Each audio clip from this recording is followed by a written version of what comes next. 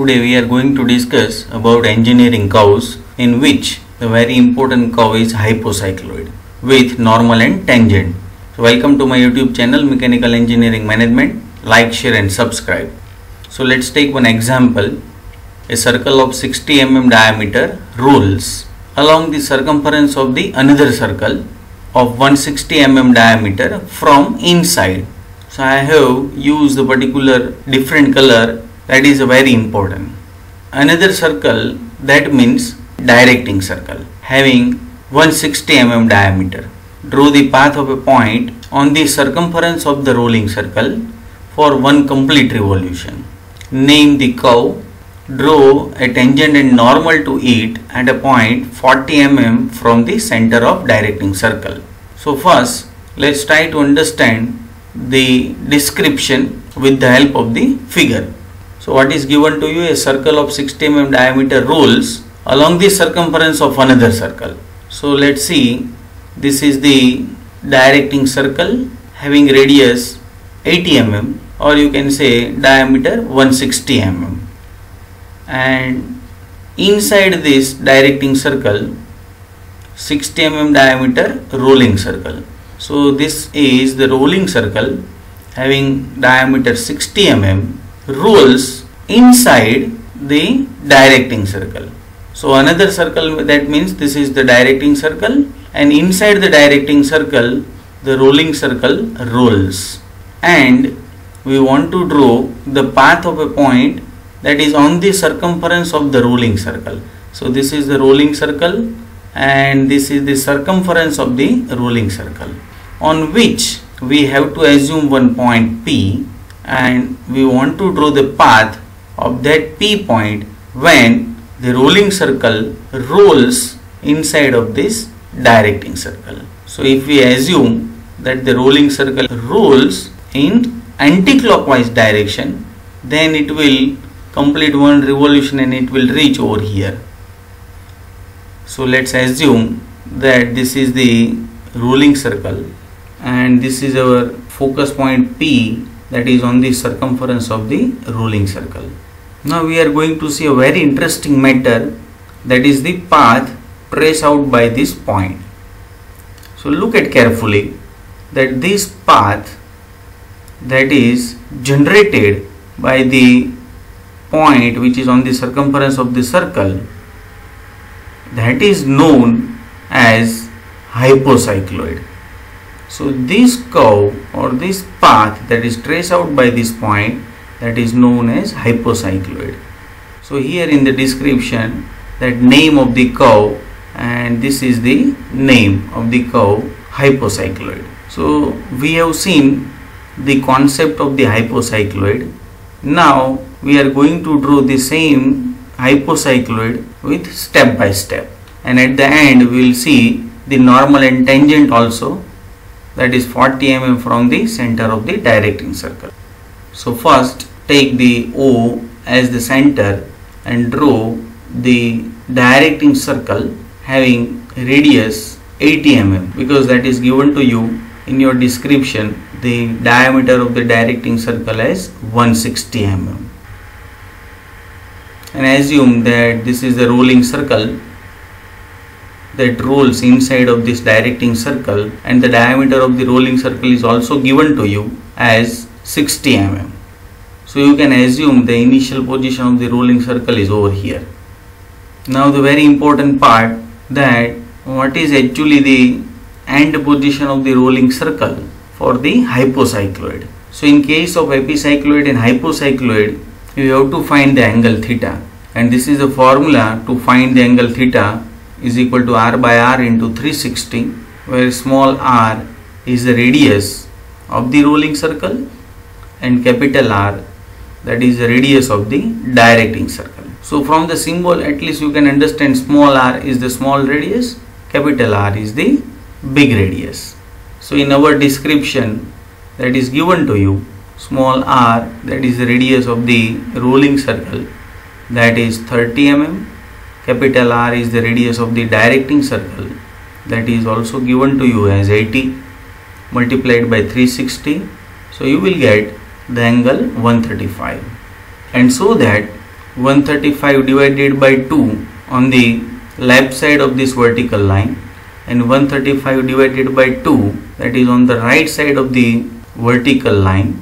So the total angle is 135 and it is equally divided on both sides that is 135 by 2 and 135 by 2 and so that you can locate the end position of the rolling circle. So this is the initial position of the rolling circle for hypocycloid and this is the end position of the rolling circle for hypocycloid. Now draw the line that is normal to this line as well as passing through the center of the rolling circle and then divide it into the 12 equal part with the help of the protector.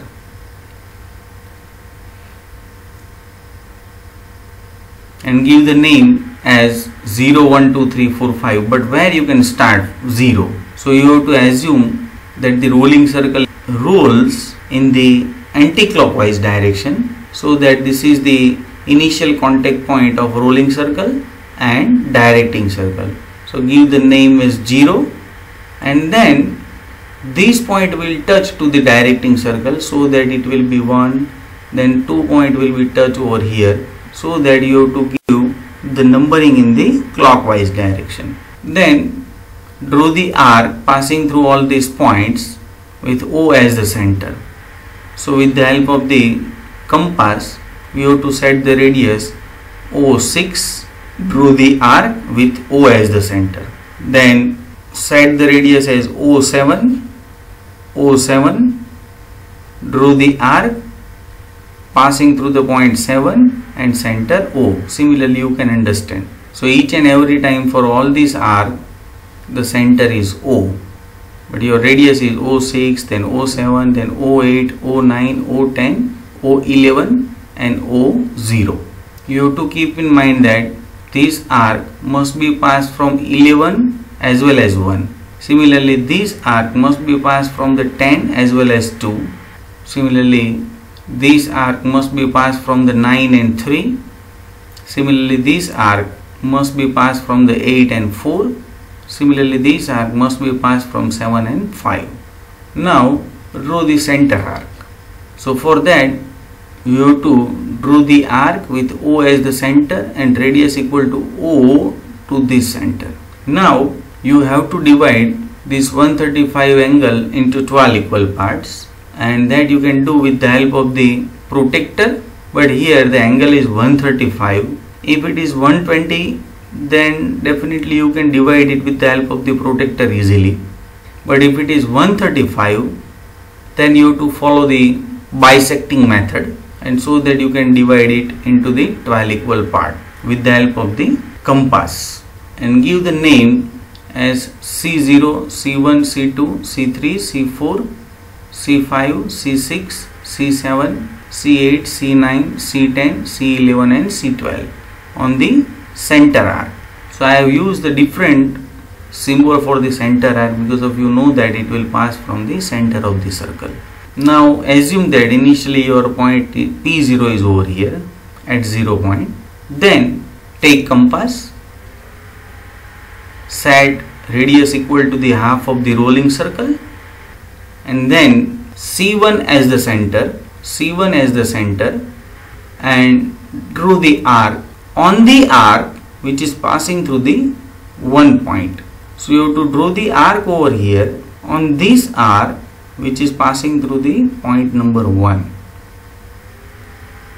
so this is the arc and locate the intersection point as P1 now next with the same radius but your center is C2 so your center is C2 draw the arc on the arc which is passing through the point number 2 that means on this arc and mark the point as P2 similarly C3 is now center. Draw the arc on the arc which is passing through the point number 3 that means on this arc. Now you can understand C4 will be the center same radius.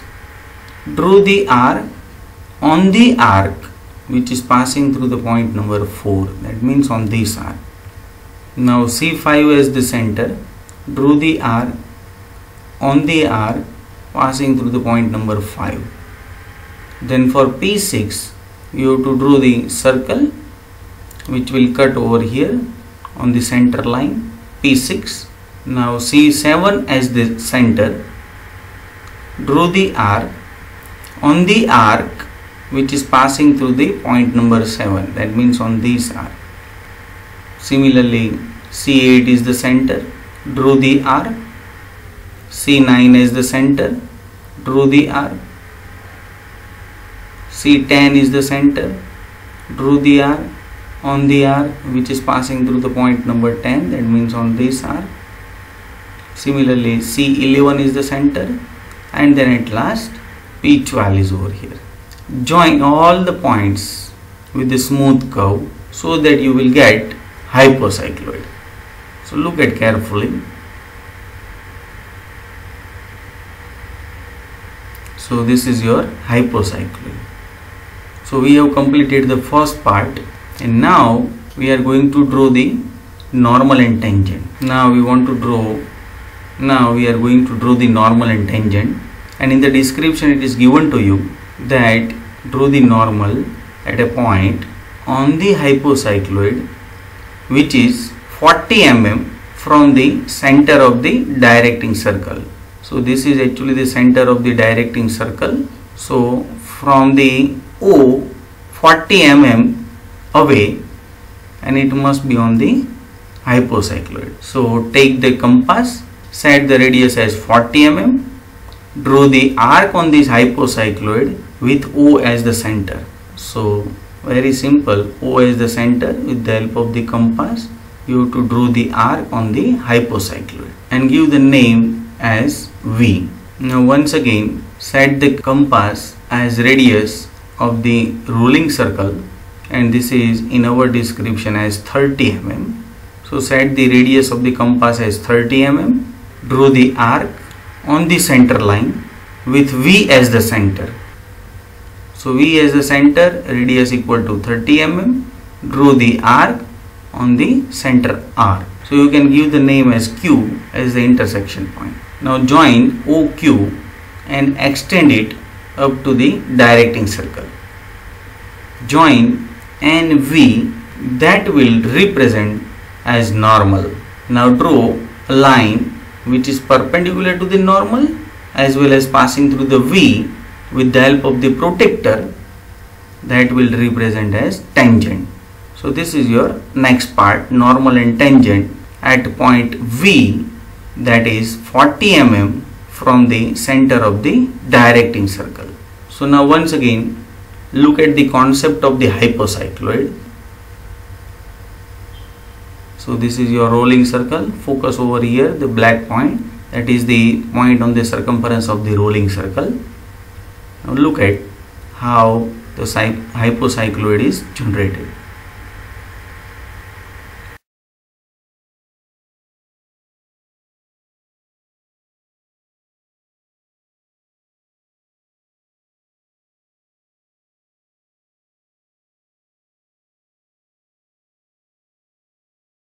to understand the description so that in the examination you can draw the hypocycloid easily.